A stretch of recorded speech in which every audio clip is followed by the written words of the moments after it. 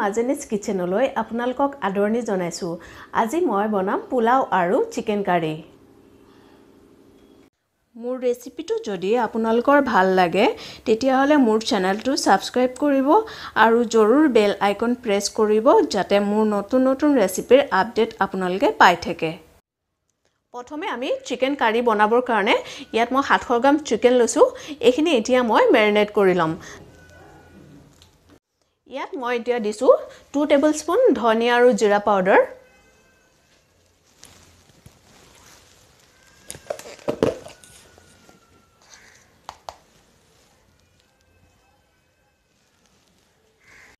one tablespoon Kashmiri red chilli powder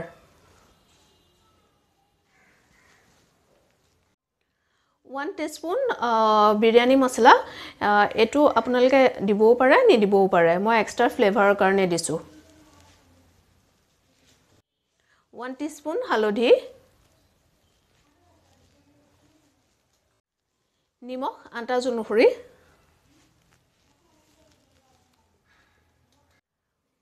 one tablespoon কেঁচা জলকীয়াৰ paste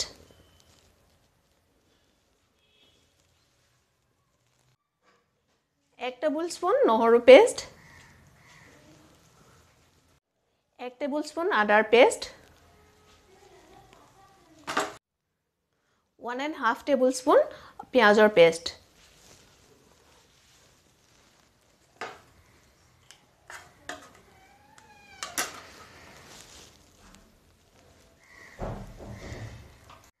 আৰু অকণমান মিঠাতেল দি লৈছোঁ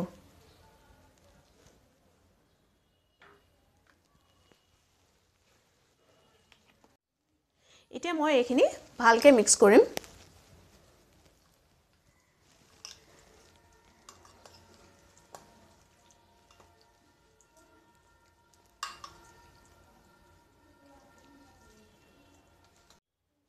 এইখিনি ভালদৰে মিক্স হৈ গৈছে। এই মেৰিনেটেড চিকেনখিনি মই দুঘণ্টাৰ কাৰণে ছাইডত ৰাখি দিম। পোলাও বনাবৰ কাৰণে মই দুটেমা জহা চাউল লৈছোঁ। এইখিনি মই আধা ঘণ্টাৰ কাৰণে তিয়াই থৈছিলোঁ। এতিয়া মই ইয়াতে দুচামুচ ৰিফাইন তেল দিম।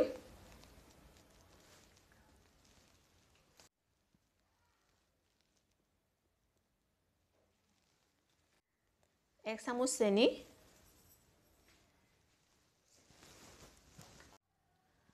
আধা চামুচ নিমখ দিছোঁ এতিয়া মই এইখিনি মিক্স কৰি ল'ম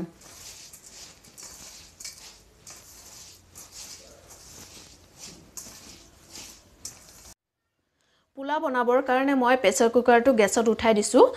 গৰম হৈ গৈছে। এতিয়া মই ইয়াত বাটাৰ দি দিম।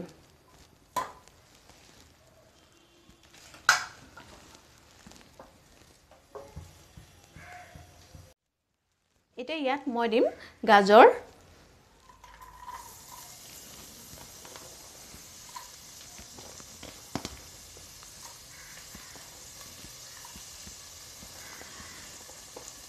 বিন লৈছোঁ।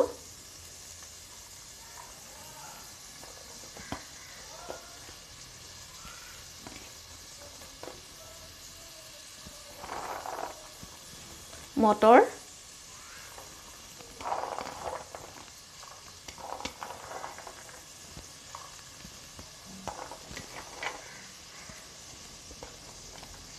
কাজু। এতিয়া এইখিনি অলপ ফ্ৰাই কৰিম।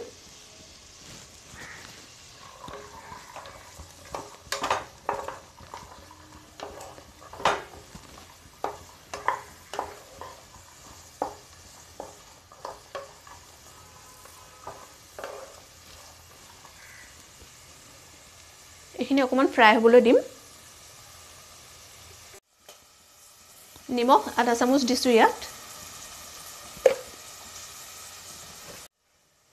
ইয়াত মই দহটা ইলাইচি দিম এনেকৈ ফালি লৈছোঁ।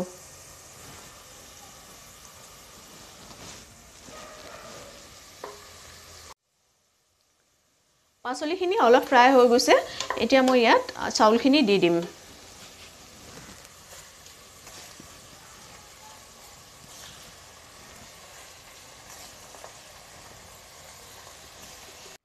এইখিনি মই এতিয়া মিক্স কৰি ল'ম। আৰু ল' ফ্লেমত মই এইখিনি অলপ সময় ফ্ৰাই কৰিম। লৰাই থাকিম এনেকৈ ফ্ৰাই কৰাৰ সময়ত যাতে তলত লাগি নধৰে।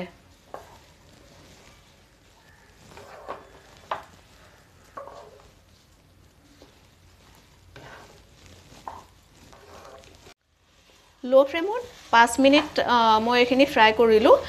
ফ্ৰাই হৈ গৈছে আমাৰ চাউলখিনি। এতিয়া ইয়াত মই দুকাপ পানী দি দিম।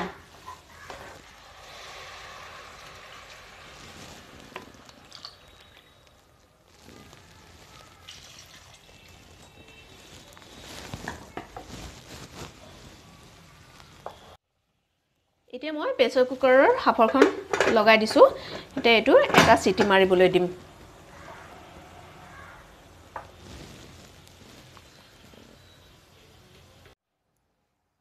আমাৰ পোলাওখিনি এটা চিটি মৰাৰ পাছত ঠাণ্ডা হ'বলৈ দিছিলোঁ। ঠাণ্ডা হৈ গৈছে এতিয়া মই ঢাকনাখন খুলিম।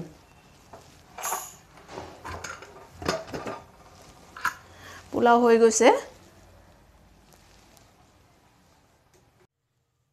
চিকেন কাৰীখিনি বনাবৰ কাৰণে মই গেছত কেৰাহী উঠাই দিছোঁ। তাতে মই সৰিয়হ তেল দি দিছোঁ। এইখিনি গৰম হৈ গ'ল তেলখিনি। এতিয়া মই ইয়াত চিকেনখিনি দি দিম।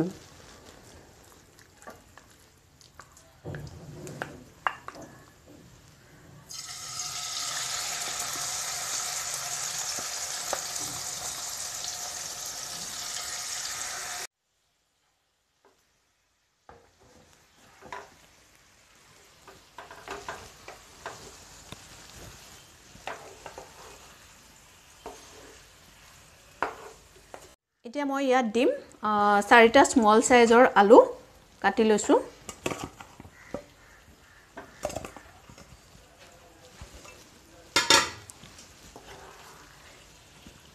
এইখিনি মিক্স কৰি ল'ম ইয়াত।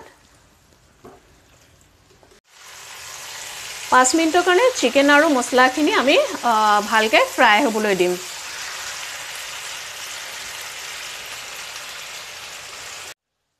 এতিয়া ঢাকনাখনেৰে ঢাকি দিম।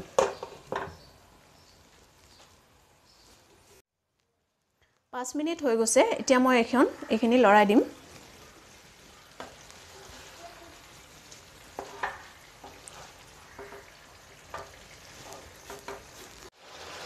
এতিয়া মই ইয়াত পানী দিম। আমাৰ মাংসৰ যোনখিনি মছলা আছিলে তাতে পানী দি পেলাই মই ইয়াত দি দিছোঁ।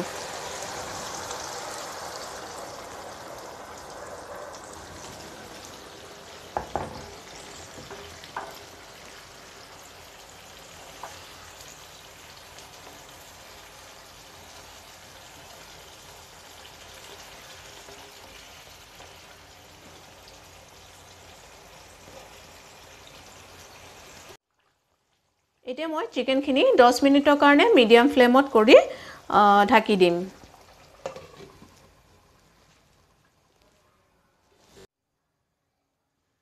দহ মিনিট হৈ গৈছে। এতিয়া মই ইয়াত ইলাইচি পেষ্ট দিম। আকৌ মই পাঁচ মিনিটৰ কাৰণে ঢাকি দিম।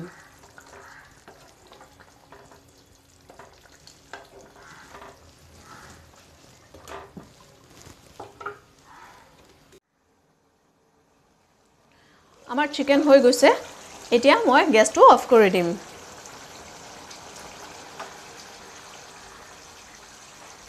এয়া আমাৰ পোলাও আৰু চিকেন কাৰী হৈ গৈছে। এই ৰেচিপি আৰু ভিডিঅ' যদি আপোনালোকৰ ভাল লাগিছে তেতিয়াহ'লে লাইক কৰিব শ্বেয়াৰ কৰিব আৰু কমেণ্ট কৰিবলৈ নাপাহৰিব।